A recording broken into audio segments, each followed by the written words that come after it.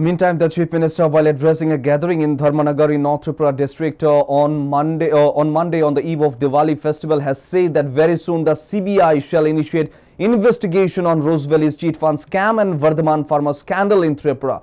The Chief Minister said probably after the festive season, the CBI shall initiate the processing on this. যারাই ত্রিপুরার মানুষের অর্থ নয়ছয় করেছে, সে chit fund হোক আর বাকি কিছু হোক, আমি জনতার সামনে নিয়ে আসব। চিটফান্ড তো জনতা বলেছে সিবিআই কে দিয়ে দাও। চুয়াত্তরটা কেস সিবিআই কে দিয়ে দিয়েছি। সিবিআই মাঝখানে এসছে, বর্ধমান ফার্মার বিষয়ে এসছে। ত্রিপুরাতে হয়তো বা পূজা পার্বণের ফেস্টিভ্যাল সিজন তার জন্য হয়তো শুরু হচ্ছে না, কিছুদিন মধ্যে হয়তো সিবিআই তার কাজ শুরু করবে। সিবিআই সেন্ট্রাল গভর্নমেন্টের কাছে, সেন্ট্রাল গভর্নমেন্ট তো নরেন্দ্র মোদীর নেতৃত্বে রয়েছে। আমি লেটারও লিখেছি যে, যাতে তাড়াতাড়ি সিবিআই কাজগুলো শুরু করে। কিন্তু রাজ্য সরকারের কাছে যেটা আছে, সেটা আমি করতে পারি। কেউ জানা ছিল না